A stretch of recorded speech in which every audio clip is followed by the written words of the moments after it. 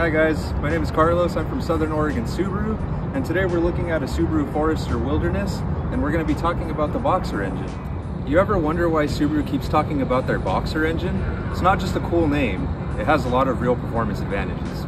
Unlike most engines, the pistons in a Boxer engine, they move horizontally, like this, instead of up and down. That design lowers the car's center of gravity, which means better balance especially in cornering and tough weather.